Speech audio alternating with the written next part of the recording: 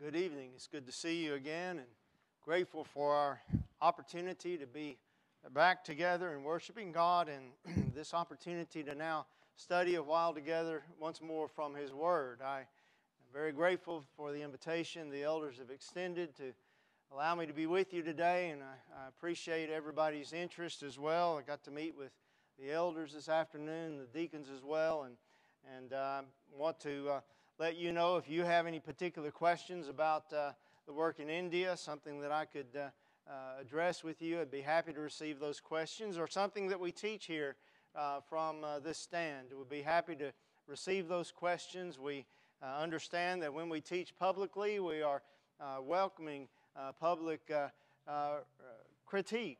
And we hope that if we receive those critiques in a way, we pray that we'll receive them in a way that that will uh, help us to grow and mature and understand and teach God's Word uh, even uh, as accurately as possible to His praise and to His honor.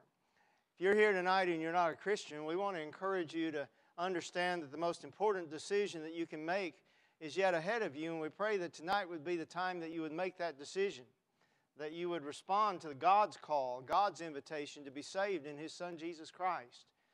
We urge you at the end of this study to to uh, come forward and let us know that you believe Jesus is the Christ, the Son of God. If you're convicted of your sin against Him, then be willing to uh, make that confession of faith and repent of your sin against the Lord and to be baptized into Christ according to His commandment to have your sins washed away by His blood, to be added by Him to His church, and then from this day forward be His disciple, to grow and mature and be faithful to Him in following His will in your life and living with the sure hope of heaven.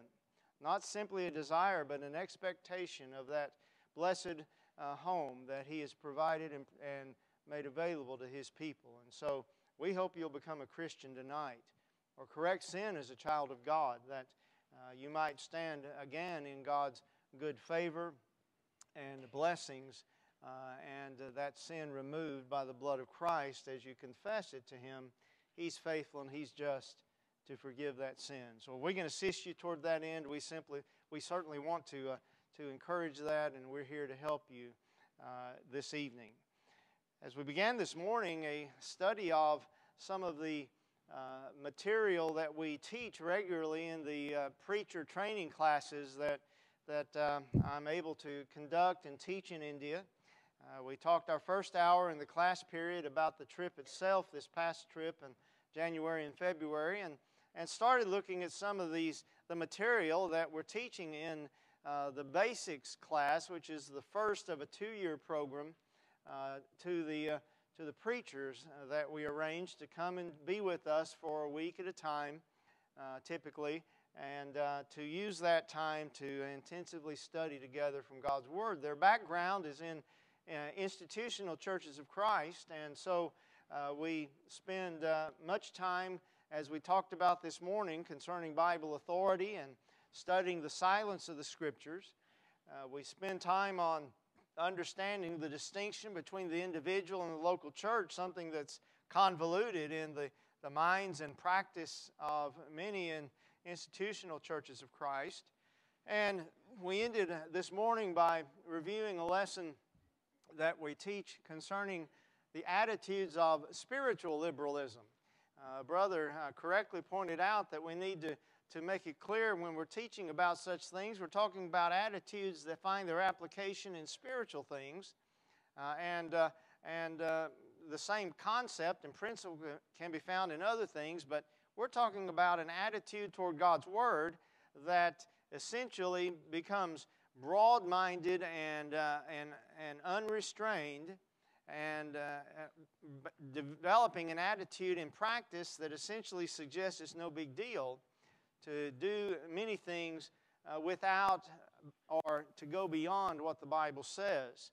And so we lay that groundwork in the first couple of days, uh, about two and a half days of our, our classes. Uh, and then we address uh, these other lessons that we have highlighted on this chart uh, and spend a good deal of time uh, in getting to specific subject matter to help uh, identify what liberalism is. I mean, it's one thing to say, oh, I'm against liberalism uh, in the church, but do you understand and know what that means? What, what is that idea, that concept, and how does that practically look? And so, so we have a lesson, uh, developed a lesson that I entitled Defending the Indefensible, as it addresses answering some of the errors that are found in uh, churches of Christ, the liberalism that's found in churches of Christ. And, and um, I spent a little bit of time, the first of that study, talking about the so called new hermeneutic. Now, that's a big word, and I explained that to the Indians. That just means how you study something, how you, how you interpret something, uh, and, uh, and how we view the Bible. And of course, it's not so new now. One time it was called new, uh, but it has uh, shaped and changed the way many Christians and many in churches of Christ view and apply the Bible and its authority uh, in, in our lives and in the, the works of the local church. So we review again with our students, with the preachers, Bible authority.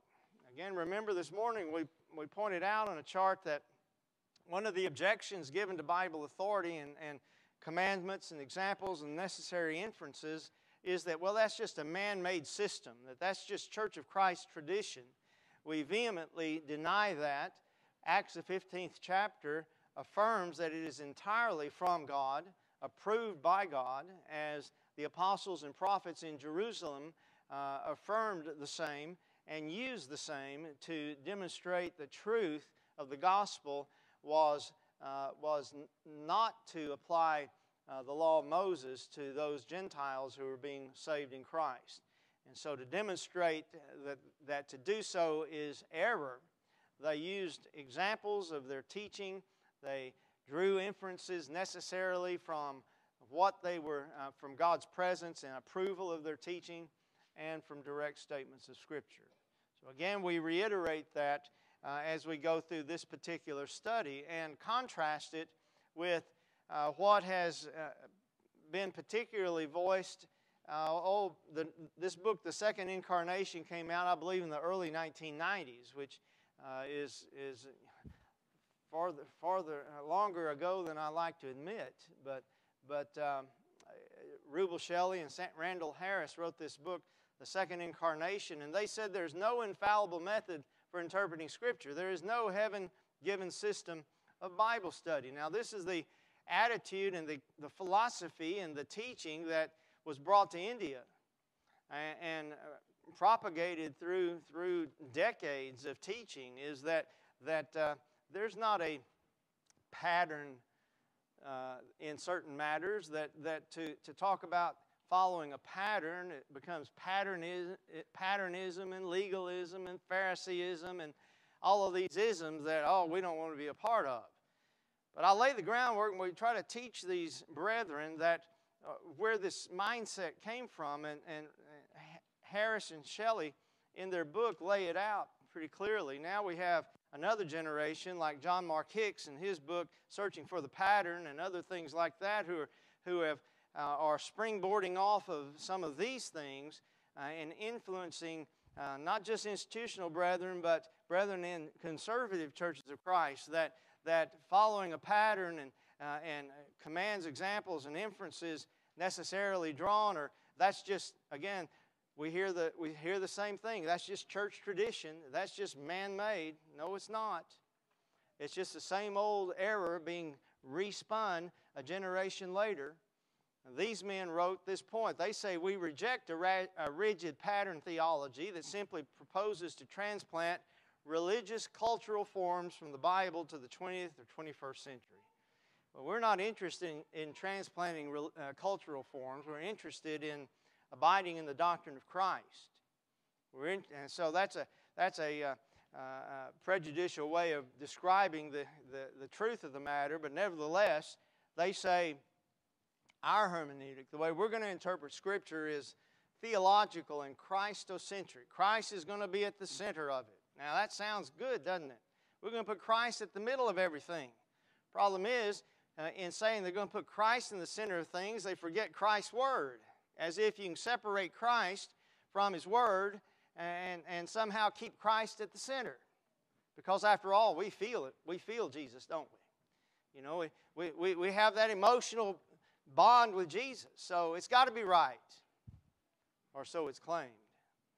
Well, look at, look at what uh, Shelly and, and Rubel Shelly and, and Harris said now 30 plus years ago. They said this principle has broad consequences for ecclesiology, for the church, things concerning the church. It says, for example, that the church need not have either explicit mandate or permission for everything it wishes to do. The church may confidently ground its activities of compassion and service in the character of its head. Now, all we have to do is just see the character of Jesus, and that's enough authority for the church to do whatever it wants to do. So, if the church wants to have a, a soup kitchen, if the soup, uh, church wants to have a medical mission out of compassion, like Jesus, because he was a compassionate uh, Savior, then, then that's all the authority you need. Is just find the character of Christ in what you're going to decide to do as a church, and you don't have to have explicit mandate or permission, they said. And the result of that, invariably, and there's other quotes, i have condensed this, there's a lot, a lot more we could say about this, but the result of that kind of thinking, this new hermeneutic, which now is showing itself again in a new way, but the same old error, is going to mean there'll be fewer attempts to try to defend what is taught and practiced by finding Bible patterns, by finding Bible authority. You remember, Paul warned that the time would come when they will not endure sound doctrine, but having itching ears will heap to themselves teachers after their own lusts, and will turn away their ears from the truth and turn aside to fables.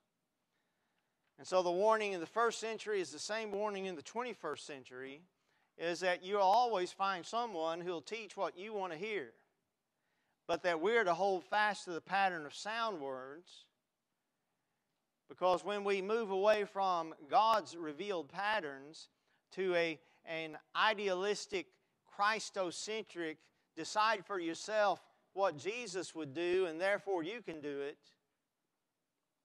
we've developed our own our own traditions rather than following the traditions of the apostles.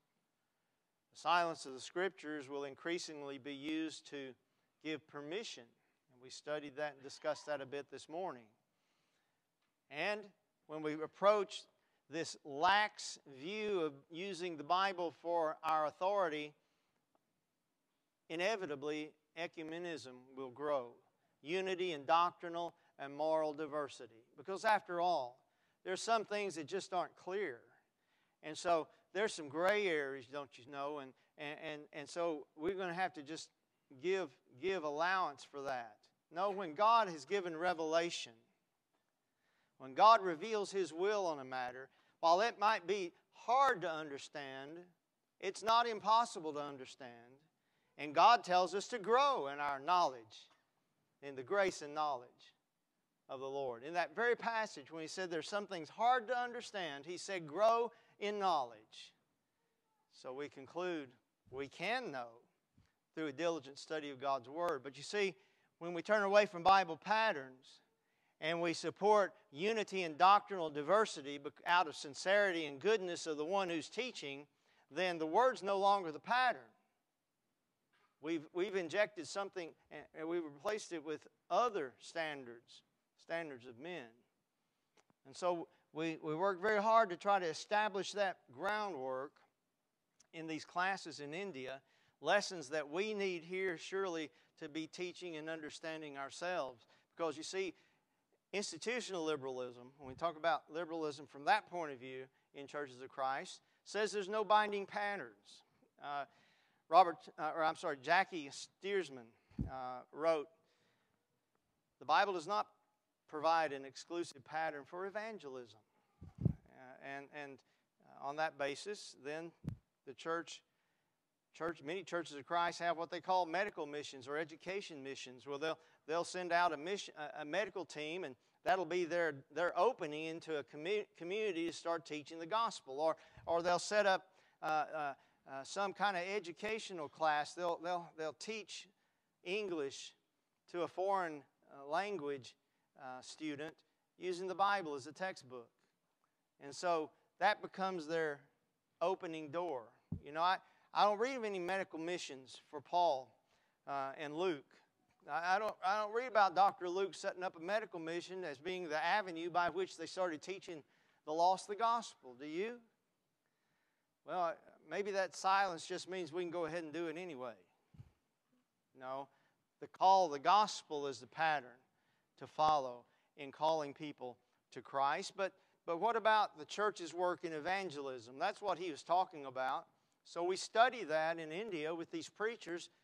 How, what is the, what is the, the, the pattern uh, of, in the New Testament for churches to work, to cooperate in evangelism? You know, the, the charge many decades ago was made that, that we're anti.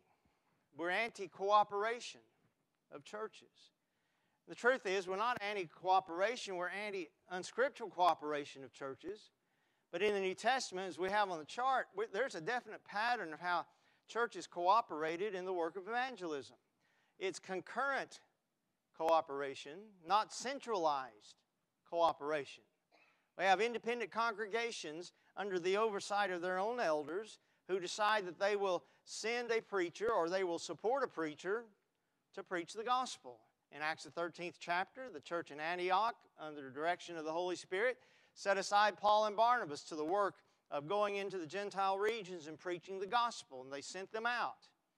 In Philippians, the fourth chapter, the church in Philippi supported Paul when he uh, was in Thessalonica, and then when he left Macedonia, and now when he's in Rome, they again send support to him. The pattern over and over is the church sending directly to the preacher to support his needs, supply his needs for him to preach the gospel.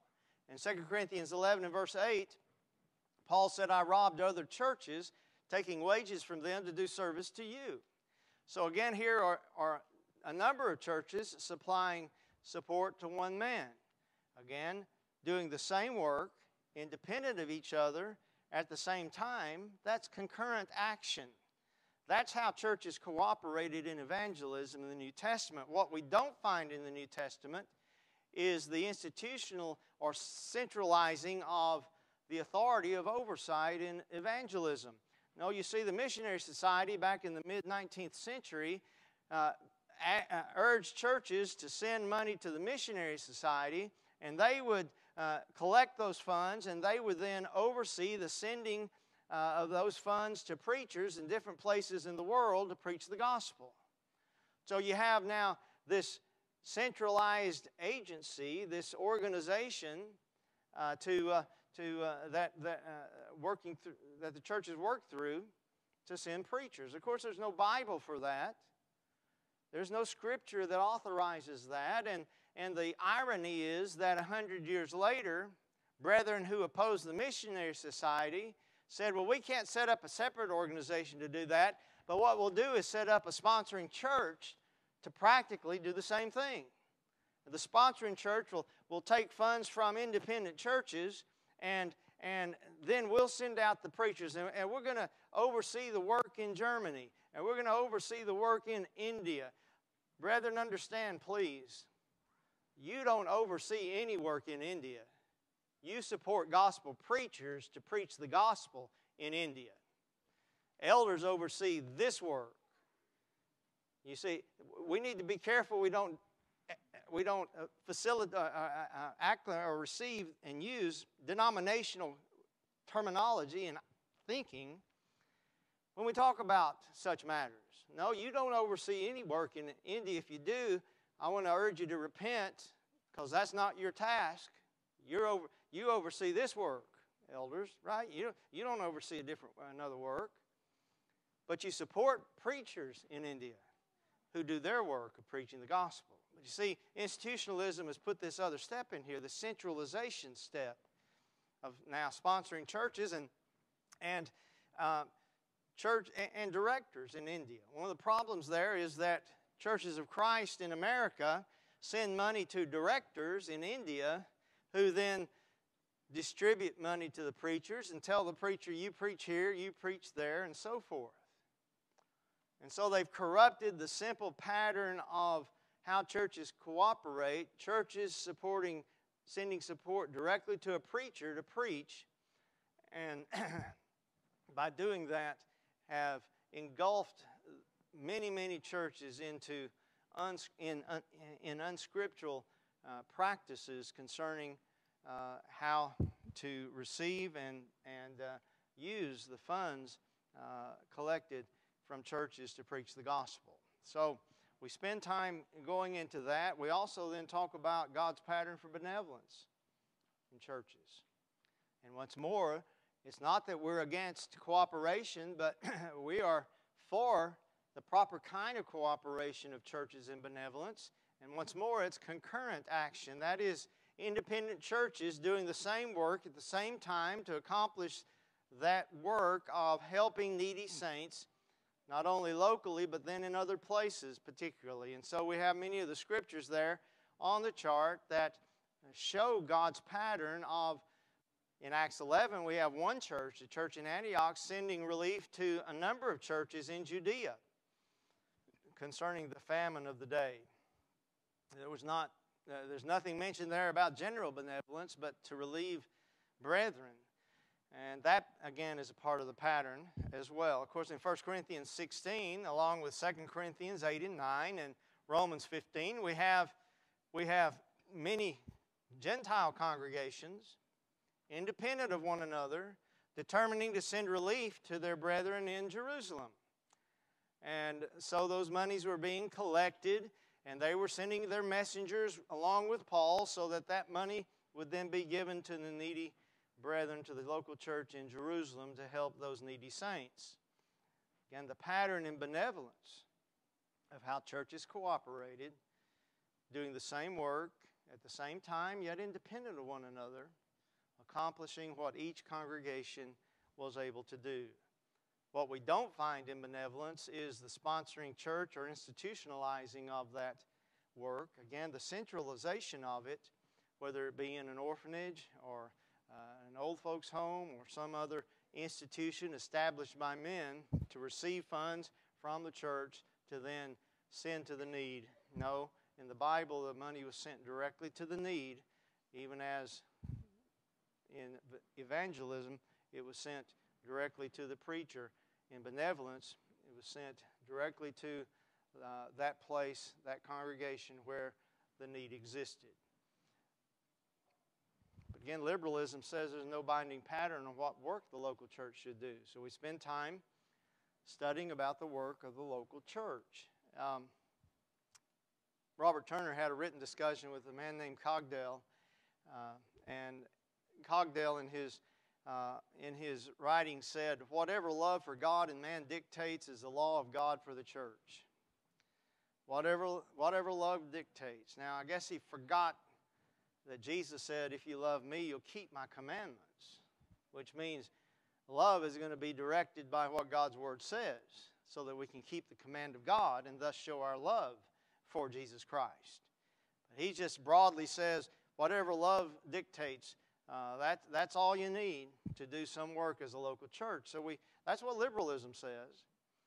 No binding pattern, yet again, clearly in the New Testament, we study this with the brethren there in India that the work of the local church is to preach the gospel, to sound forth God's word to the lost. Acts 11th chapter, when the church in Jerusalem heard about the conversions in Antioch, they sent Barnabas uh, to encourage the brethren and to help continue the spread of the gospel.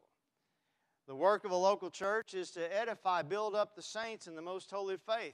In Acts the 20th chapter, the elders were commended to God and to the word of His grace, which is able to build you up. What builds up? Christians. Fun, food, and frolic. Have a party. Get built up. No. Worship builds us up. Spiritual work together builds us up. Learning the Word of God builds us up. It strengthens our faith. You see, we go to the right source. We build each other up in the faith with the Word of God. 1 Corinthians 14 26 says, What shall I say then? When you come together as a church, he says, each one has a psalm, has a has a prophecy, you have these miraculous spiritual gifts. Uh, you have a psalm, you have a teaching, you have a tongue, a revelation, interpretation. let all things be done for edification. We come together like this. We're here doing the work of edification as we worship God, as we honor Him in song and petition Him in prayer and remember Him in the supper. When we give as we've been prospered and hear His word, we're building up, we're feeding the saints, building up the saints. That's how God has arranged the work of the local church. That's the edifying work to be done. We talk about the relief of needy Christians. Certainly, that's a part of the work of the local church. And without exception, the pattern in the Scripture is always a local church relieving needy Christians, whether among themselves or in other places. And in fact, remember, 1 Timothy 5.16 said there's even some needy Christians we're not to be put on an ongoing roll for that. If there's a family that has widows, that's where the first responsibility is to lie, so the church can take care of those who are really widows, those who qualify to be continually enrolled in care. So, preaching the gospel, edifying the saints, relief of needy saints, this is the work of the local church. And the brethren, brethren, we need to realize that God has arranged the local church to be sufficient. You see, under the oversight of qualified elders, deacons who serve, and every member doing their part, you see, God has arranged the church, the local church, to be fully equipped to do the work God wants it to do. It's only the wisdom of men that says, well, we can't do that work by ourselves. We need to, we need to be a collective. We need to centralize ourselves. No, that's the wisdom and will of men, not the will of God. And so we spend, we spend a great deal of time on this particular lesson with the preachers there in India. We follow it with a lesson about fellowship and unity. And uh, we spend uh, some time in 1 John, the first chapter, verses 1 through 7, as the Apostle John makes it clear that the apostolic teaching becomes the foundation by which we not only have fellowship with them, but in having fellowship with them, we have fellowship with the Father and the Son, 1 John 1, verses 3 and 4. And then he goes on to explain that God is light and in him is no darkness. So that if we say we have fellowship with him and walk in darkness, we lie and do not practice the truth. That if we walk in the light, as he is in the light, we have fellowship one with another. We have fellowship with God, and the blood of Jesus, his Son, cleanses us from all sin. And so, Scripture teaches us it is the practicing of the truth revealed through the apostles that enables us to be in the light, as God is in the light, and to have fellowship with Him. We, we spend time on that. We spend time on 2 Corinthians chapter 6, verses 14 through 16. We had it read. We read together earlier uh, about some of the facts of fellowship are reiterated here in these words. That uh, these five different terms in that verse that talk about fellowship, as we are not to unequally yoke ourselves with unbelievers. We are not to, uh, it, just as foolish as it would be to yoke an ox and a donkey, we are not to, as Christians, put ourselves in any relationship that by which we are controlled and drawn away from Christ and His will. And so, and he has the rhetorical questions uh, with the clear answer no to each of them or none to each of them. There is no fellowship between righteousness and lawlessness. There's no communion, nothing in common between light and darkness. There's no harmony or accord with, between Christ and the worthless one, Belial, the devil. There's no part that a believer has or portion a believer has with an unbeliever. There's no agreement with the temple of God and idols. You see, put that in chart form. He says that if there's any overlapping of those, that's sin.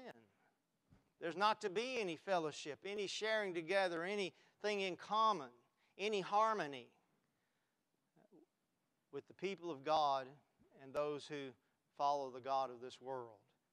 So that the fact the Bible says, have no fellowship with the unfruitful works of darkness, but rather even reprove them. And so we talk about now. See, we're, blend, we're blending these realities with our previous study about the work and organization of the New Testament church, of the local church. If we're acting in things with, for which we have no authority, we're sinning against Christ.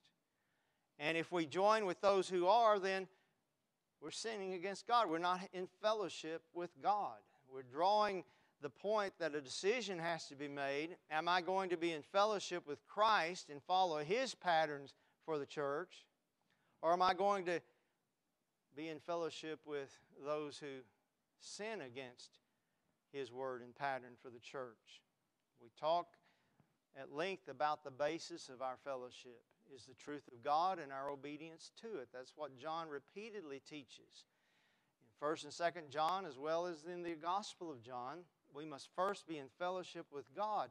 You and I can share together and have, have agreement and participate together, but if we're not first in fellowship with God, it's worthless. It means nothing. And so let us first be sure that we know God. You know, John said, By this we know that we know God if we keep His commandments. That's the way I know God. I may feel something in my heart, but that's not how I know God. I know God if I'm loving Him enough to keep His commandments, if I'm doing His will. That's where our fellowship is. Jesus said, If a man loves me, he'll keep my word. John 14, 23.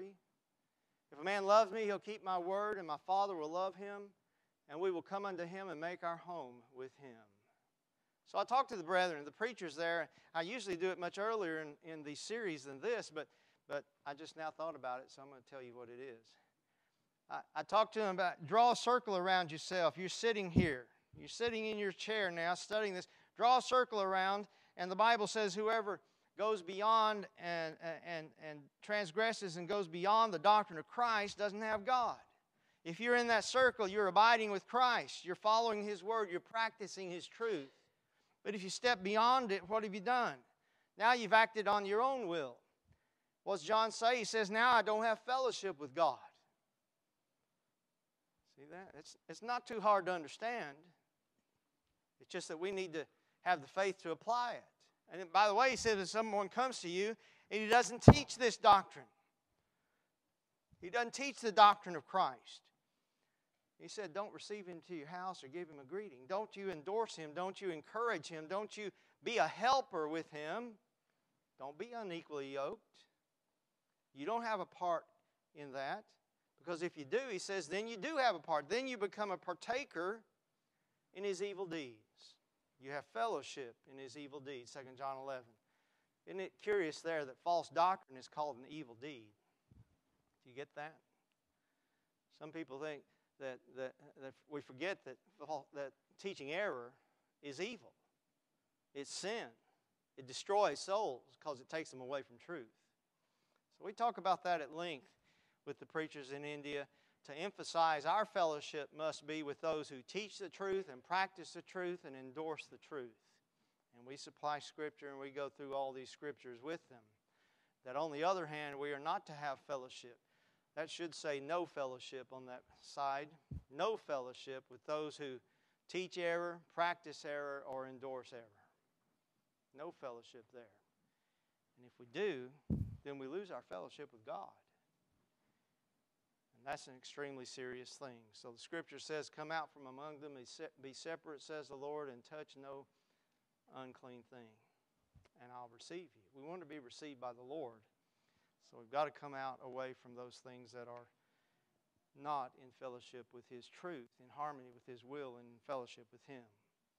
Spend a whole lesson on respect of persons because the, the Hindu culture for 3,000 years has lived the caste system that says depending on where you're born, then, then that determines your lot in life. And the Hindu concept of reincarnation is you must accept the station in which you're born and be the best person you can be in that and and and then maybe in the next life you'll progress farther. But a result of the caste system is a lot of prejudice. You know, I'm higher than you. you know, and most of the people that we work with are in the, the low caste, the untouchable caste, and uh, and yet there's there's squabbling among them because there's castes and subcastes. So we spend some time on talking about not respecting or not being partial, not showing partiality. We study James 2 as we have on the chart there, and we go through these entire points that that uh, that the Holy Spirit taught that we simply cannot hold the faith of Jesus Christ with partiality. Faith is not determined by the color, by the pigment of our skin. It's not determined by uh, the origin of our birth, what country we were, we were born in. No. Don't be a respecter of persons. And we, we spend a good deal of time on that uh, with the brethren. I, want, I told you this morning we talk about Jesus, the Son of God, just a little bit, and we have this study as well. Uh, that that uh, and I mentioned to you this morning that that the truth that of the Godhead has been perverted somewhat by some teaching, and some brethren have been troubled by it some. And so we looked at this this morning that that uh, Jesus is indeed eternal God, that Jehovah includes the Godhead, the Father, the Son, and the Spirit. But we went, we, we went a little bit deeper into that with a particular study. Uh, was Jesus the Son of God on earth? Of course, Jesus claimed to be the Son of God on earth. He called God his Father. Those who heard him say that understood that he made himself equal with God, and they tried to kill him for it. Tried to stone him and called him a blasphemer because of this. And, and yet, in John, the fifth chapter, he goes on to show the equality of himself and the Father and doing the same work, having the same judgment, same honor, same life, and the same authority. And, and we study that some, and, and of course, the idea of son of expresses that he had the same nature as his Father. Just like a son of peace has a peaceful quality or nature, the Son of God speaks to his deity, that he is, in fact, uh, God. Well, they, the question says, well, what does it mean then the Father is greater than the Son if Jesus is equal with God? Well, of course, it talks about Jesus in his flesh in submitting to the will of the Father in John 14, 28, when he said, The Father is greater than I, because Jesus, as a servant here on earth, submitted himself to the Father's will. And so, uh, in that sense uh, of submission, that could be said. One of the corollaries of this error uh, developed this idea well, should we worship Jesus or not? And so we talked some to them about the fact that Jesus was, in fact, worshiped on earth time and time again, and that he never rejected that worship. And yet, righteous men and angels refused worship. Peter did, Paul and Barnabas did in Acts 14. The angel refused John's worship in Revelation 22. Now, Jesus was a righteous man without sin. 2 Peter 2 2. Well, why didn't he refuse worship? The reason is because he was, he, he was deity. Yes, he was man. He's fully man, but he's fully God. He deserved it. He never resisted it, he never refused it because, of course, he was God with us. And so we emphasized that and talked about that in, in a great detail. But one, one final point here as we close, and that is I spend time talking to the preachers about preaching. You know, preaching needs to be understood for the work that is revealed in Scripture for what it is, and not allow the, the uh, uh, desires and dictates of men to decide and determine what it means to preach. Do you know why you preach? Do you know why you preach what you preach? Uh, in 1 Timothy 1, verses 5, 6, and 7, says, The purpose of the commandment is love from a pure heart, from a good conscience, and from sincere faith, from which some, having strayed, have turned aside to idle talk, desiring to be teachers of the law, understanding neither what they say nor the things which they affirm or they confidently assert. He said there are people who are teaching things and they make it sound like they're confident in what they're saying. They firmly believe what they're saying. He says they couldn't be more wrong. They desire to be teachers, but they don't understand what they're saying. If that was true in the first century, it's still true in the 21st century. And that as gospel preachers, we need not only to know why we preach, we need to know why we preach what we preach. You know, preaching is not just about standing up here and talking for 30 minutes or 45 minutes. I know I've gone longer than 30. it's not about just standing up and filling some time, it's, it's about filling your time with God's Word. It's about proclaiming the gospel of Jesus Christ. Uh, Paul said, I charge you in the sight of God to preach the Word. There's a charge given to the gospel preacher. And so we teach and speak to these men in India, and in, whenever I have a chance to speak to gospel preachers, know what you preach. And if you're not preaching God's Word, sit down. We don't need to listen to you. I don't need to know what you've experienced and what you feel. I need to know what the Bible says so that I can build my faith in it. I don't need my faith built in you, Mr. Preacher. Of course, then there's, a, there's the poem that says, Preach a sermon, preacher. Preach it round or flat. We love at guessing where you're at, you know. We can preach some things, and we can, we can, as long as we preach it general, they think we're terrific. But don't get specific, you know. And too often, preachers yield to the temptation to preach in a way that, oh, he's a great preacher. But do we speak to what needs to be said? What did he say in 2 Timothy 2 and verse 4? He said, Preach the word, be urgent, in season and out of season. One old time preacher said that means preach it when they like it and preach it when they don't. Preach it, preach what needs to be preached. He said, reprove, rebuke, and exhort with all long suffering and teaching. Because the time will come they won't endure sound doctrine. So I talked to the preachers about preaching what needs to be preached and living what you preach. Timothy was to be an example to the believers, 1 Timothy 4 and verse 12.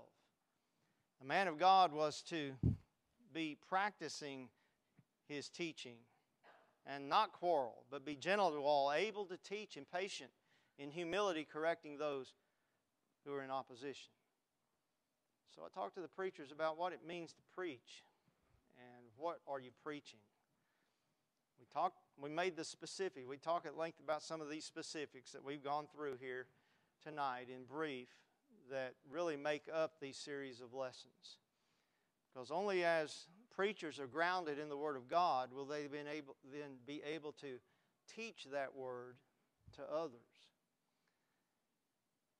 Proverbs 23 and verse 23 says, Buy the truth and sell it not. Yea, wisdom and understanding and knowledge. Seize, acquire truth, and don't let it go. Jeremiah 6 and 16 said, Stand in the ways and see and ask for the old paths, where the good way is, and walk therein. The old paths are the sound ways revealed in Jesus Christ, the sound words of Christ, 1 Timothy 6 and verse 3. Teach the sound doctrine, as Paul exhorted Titus in Titus 2 uh, and verse 1. Preach the things that amount to sound doctrine. Hold fast the pattern of sound words which you heard from me in faith and love, which are in Christ Jesus. This is a brief summary of the, the sessions with the Indian preachers the first year. Then they come back for more the second.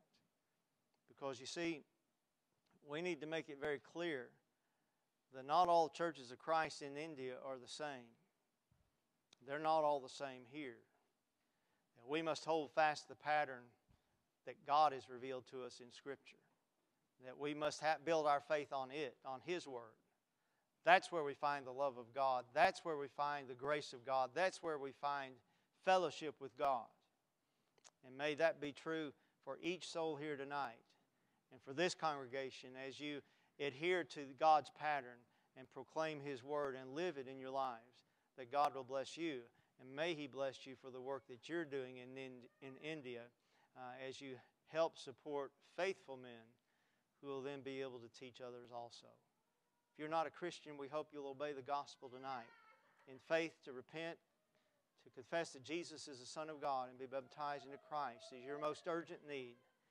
All is prepared that you might be saved in Christ if you respond to His call. All together we stand and sing. Won't you come?